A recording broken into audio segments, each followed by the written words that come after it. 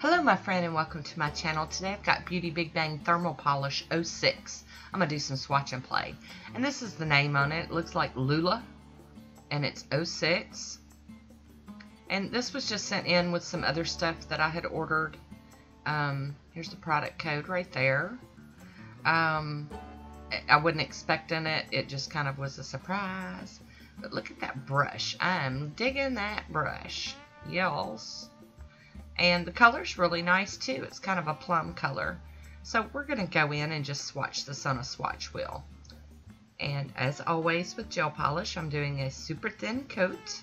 Trying to keep it even. And I am going to cap that tip. Because I don't know if this one's a shrinker or not.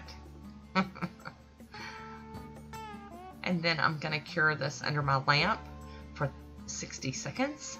It's my LED lamp, by the way.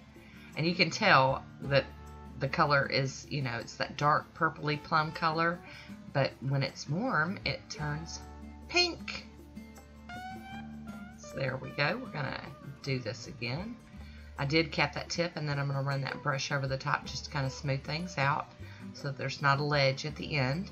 I cured it for another 60 seconds under the LED lamp and I am going in for a third coat. Um, with gel polishes, you know, I just like to play, play safe. Um, you know, doing the super thin coats. And, you know, depending on how you do it, you might be able to get away with two, but I, I'm going to recommend three on this one. Do that cap and then brush down up over it again to kind of smooth it all out down there at the end.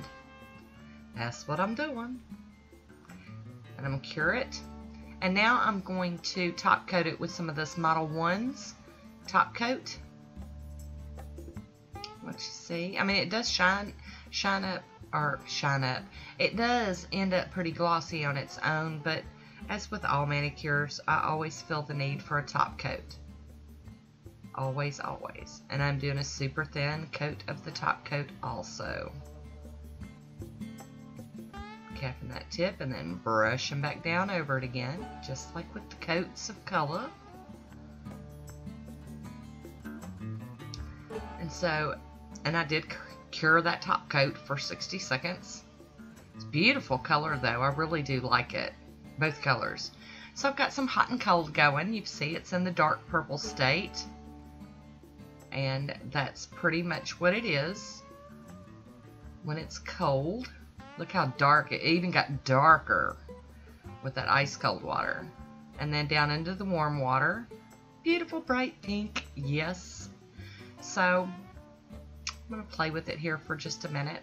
But I do um, hope that you like this one. Please let me know what, you what you think about this. I just think it's just cool to have a gel polish that is the thermal.